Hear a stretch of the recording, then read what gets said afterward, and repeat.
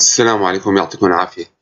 اليوم رح نحكي عن حالة للمتقدمين اللي صار لهم فترة عم يشتغلوا على البرنامج و ناقصهم مشاكل مثل آه، موضوع آه، الاسكان للزرعات.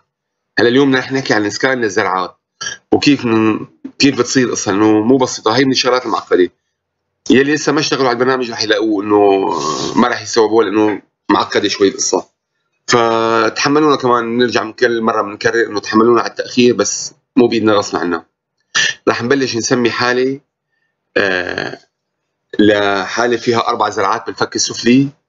all on four هي التكنيك هذا هي مو شغلتنا نحن كمخبرين إنه all on four ولا ولا إن شاء الله زرعة واحدة ولا 20 زرعة. نحن قلنا نساوي ال case. على كل حال رح اسمي الحالة مثل العاده عم نسمي العمل هلأ أنا كلياتها test مانا هي مانا مهمة بالنسبة لي. هلأ راح الحالة اللي بإيدي راح اسمي مثلا هي الثانية السفلية راح اسميها copy. أو مثلا إذا عم نعمل bar bar بين آه، فوق آه، زرعات screw retained يعني البار كله بنحط فوق الزرعه وبنشد ببرغي. أو إذا عم نعمل دعامة شو عم نسوي؟ رح نسمي نحن اللي عم نشتغله أنا العادي. أو ممكن يكون custom abutment هلأ هون بعد ما سمينا نوع العمل والمادة هون النقطة المهمة. إنه هلأ شو عم سوي؟ أنا نوع من الزرعات. في عندي custom abutment يعني أنا بدي صنع دعامة محضرة مصنعة خصيصا للحالة اللي معي. آه، أو هي هي manual اللي إحنا ما رح نقلب عليها هي اللي حكينا عنها شغلة بسيطة. وهي ال screw retained يعني أنا عندي تاج بدي أركبه بالتم بدون دعامة وحط البرغي بقلبه بس. وهي كمان المسار البرغي بدي أحطه يدوي. بس هي خلينا نروح على العادية. آه، بهي الحالة بإيدي ما في gingiva mask لذلك ما راح أسميه إنه آه، أعمل لي scan لل gingiva mask سمينا قبل مرة وعملناها. نفس الحالة راح انسخها أكبس control وانسخ ال 31 انسخها لل 41 انسخها لل 44 34 وعندي أي سن من هدول السن بنسميه adjacent tooth أي واحد خلص بكفي إنه هو نفسه عمليا راح يصور كل الفك adjacent tooth. هون ولا هون ولا هون ولا هون نفس الشيء. وأنا هلا ما عندي معاكس. الحل بإيدي. ف one stone model only اللون ماله مهم بالنسبة لنا. راح نسيف الحالة وراح نروح على السكانر هلا برجع بنحكي على السكانر كل مرة أنا عم عم بحط عم بتقصد إني أحط برنامج سكانر مختلف رح نكبس عليه. آه لسه في عندنا نسينا نحط ال pontic انتبهت لها. في عندي pontic كمان لازم نسميها. وهي ننسخها؟ لأنه هذا الجسر بده يكون عمليا. وإذا بدي أحط له أجنحة مثلا بحط له. أو بلاهون حسب. ما مهم ال pontic كمان نفس الشيء. هلا بنرجع. سيفنا منيح تذكرتها أه برجع بذكركم أي خطأ بالتسمايه هلا. آخر شيء بعد ما تكون خلصت الشغل ترجع ورا النصيان حتى الدمى. هلا أه نروح لموضوع برنامج ال scan. هلا السكانر اللي راح احطها هلا أنا هي CAD Star. هي من السكانرات تعتبر كمان top of the line يعني من الاقوى السكانرات كدقة كسرعة ك راح نفوت عليها. CAD Star. برنامجها نفسه اللي كان قبل شوي المرة الماضية اشتغلنا عليه اللي كان آه RevEng يمكن اسمه 3.5 هل 3 كان هلا هذا 4 هلا آه في عندنا خيارات متقدمة ما راح نفوت فيها راح نروح دغري على طيب هلا بدنا نبلش المشروع تبعنا. هي ال wizard المراحل الخطوات واحدة ورا واحدة راح نبلش فيها. هلا نحن حطينا الفك نحن عندنا هون wizard مراحل مراحل المشي النظام step by step هي الستيبات اللي بدنا نمشي فيهم. وفينا نطلع منهم بهذا البرنامج هذا البرنامج كثير حلو. آه إنه اللي هو هذا اللي قلت لكم عنه RevEng 4.5 هذا المطور. في عندنا خيارات كثير واسعة فيه. سهل بسيط سريع. آه كل شيء بتتحكم فيه أنت من دقة التصوير لسرعه التصوير للالوان إذا حب كل صورة إلى لون. خيارات واسعة. هلا رح نبلش إحنا step by step هي أول وحدة. مرحلة مرحلة. أنا مضطر أحكي إنجليزي وعربي لأنه في آه عندنا ناس تحكي إنجليزي وناس عربي. فمو القصة إنه والله فزلكه هلا هي وحدة اللي هلأ شفتوها الحركه إنه أنا السكانر حطيت وين عم صور بهي السكانر اللي هي Star CAD الجديدة. هي مساوية. المكان تبع التصوير أنا أول ما حطيتها كانت واطي كل فك عندي حجمه شكل. عم نلعب بالعيار تبعها لحتى نجيبها بافضل منطقة تصوير وثبتناها. هذا الجو سكان بقلبه الزرعات وراح نبلش نعمله سكان. إذا بتفرجوا شلون سرعة التصوير عم تكون.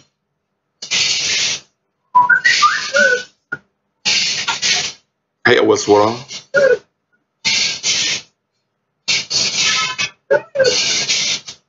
مبينين عم تطبق صورة ورا الثانية.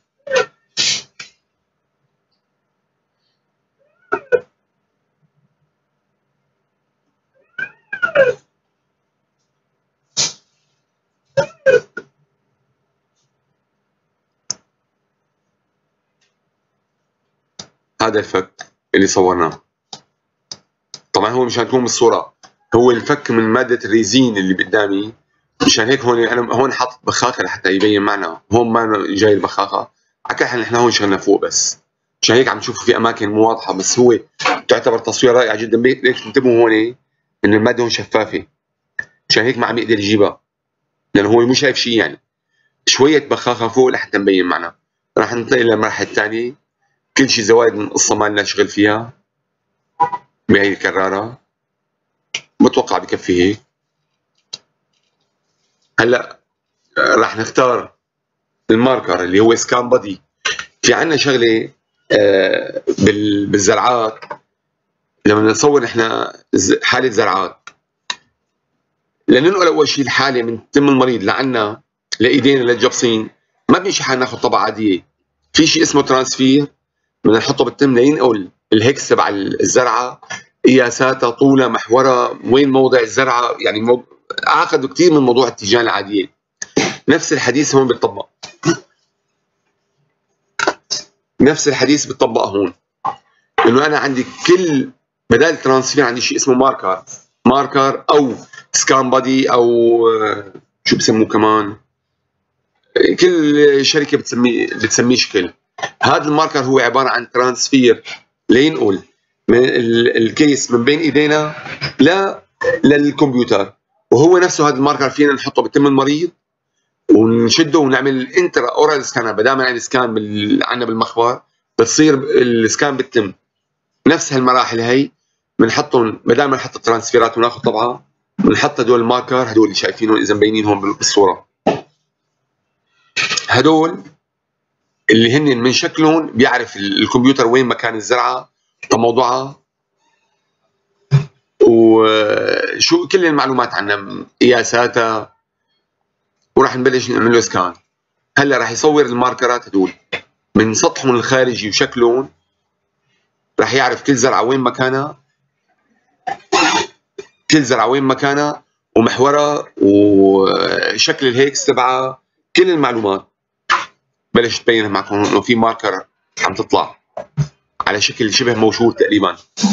طبعا هذا ال marker هلأ رح نحكي عليه في فيديو ثاني منين بنجيبه يا إما بنجيبه من الشركة نفسها المصنعة للزرعة وهذا هو الأفضل أو إذا ما عندنا إمكانيات نجيبه لأنه عندنا شركات عديدة ومو كل الوكلاء عم يخدموا يأمنوا لك ماركر. فينا نصنعه نحن بس طبعا بده يكون من مكتبة الزرع اللي موجودة عندك. هلأ هذا اللي عم بعمله أنا هلا بس سكان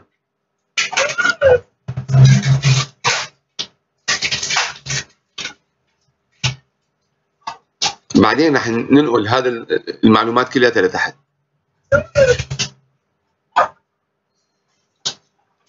بالاكسوكاد كل العمل بيكون. شايفين؟ كافيين. هدول الاسطح اللي طلعوا معنا بكفوا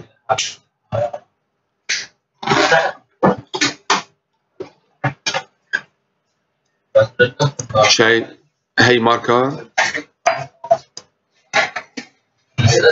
من شكله من شكله رح يعرف القياسات تبع ال hex كلياتها وين مكان البرغي. هذا الحديث كله رح نحكي عليه لاحقا. هلأ هدول منين بنجيبهم هي قصة ثانية يا أما بنجيبهم من وكلاء مثل ما قلت لكم يا رح أدلكم شلون إن شاء الله بفيديو ثاني كيف بنطلعهم رح أعمل next نقص الزوايد اللي ما بدنا إياها.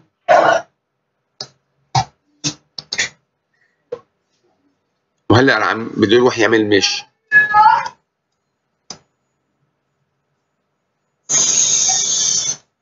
هلا بدي أعلم له هلا طالب مني ال marker رقم 34 هو شايف أنا صوته in section رقم 34 أنا واحد بده عم يطلب مني واحد واحد. راح إجي له هذا هو. راح أقول له هذا هو ال marker ها؟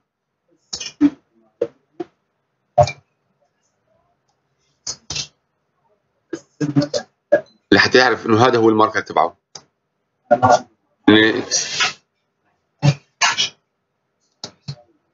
هلا بده يطلب ال 31 كمان راح اعلمه إنه هذا هو الماركر تبع ال 31 لأنه هو ما عنده إمكانية يميز. وكافيين هدول الاسطح وال 41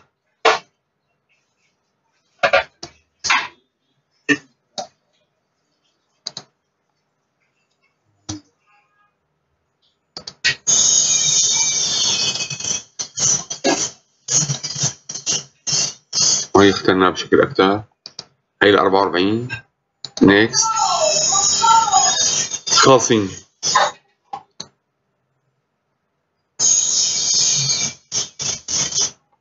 next كل مرة عم نقول له next next لأنه إحنا قصيناهم بكل الأحوال. هلأ هذا الفك تبعنا. فينا نقيم منه ما عندنا شيء يعني الصورة جيدة ما في عندنا أي مشكلة فيها. فيني أقصقص من اللي ما بدي إياه.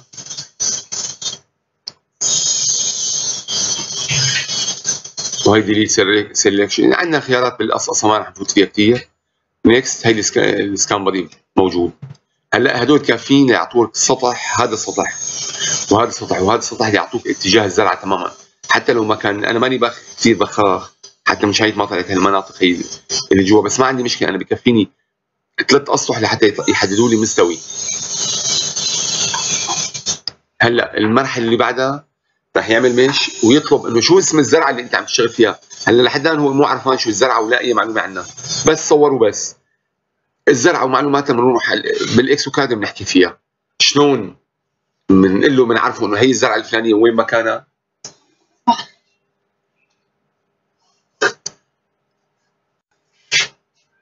الزرعه الفلانيه وين مكانها كيف من بننزل الأكس وين تبع المحور تبع الزرعة.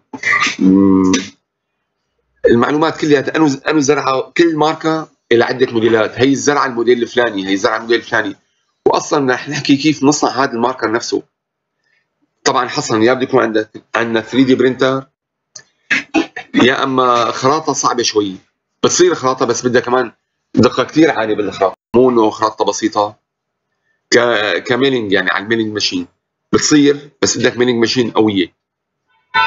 لحتى تجيبها. هلأ رح يطلب مني مكتبة من مكتبة الزراعات إنه شو الزرعة عم تشتغل منها. رح أقول له سكيب تجاوز المرحلة هي الأخيرة. هلأ عملنا الميش.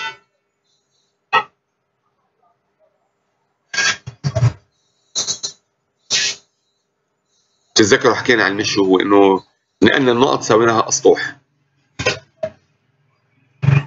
هذا هو مكان البرغي مكان ال screw driver اللي هو منفك البراغي بده يفوت.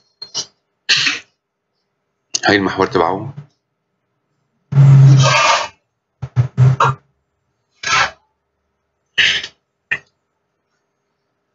هلأ طلب مني إنه اختار شو نوع الزرعة هي وراح أقول له أنا skip هلا بعدين بنحكي فيها هي لاحقا. ما راح فوت فيهم. كلياتهم راح أقول له skip ما راح اسمي له هلا الزرعات لأنه ماني مضطر. هلا رايح على الاكسوكاد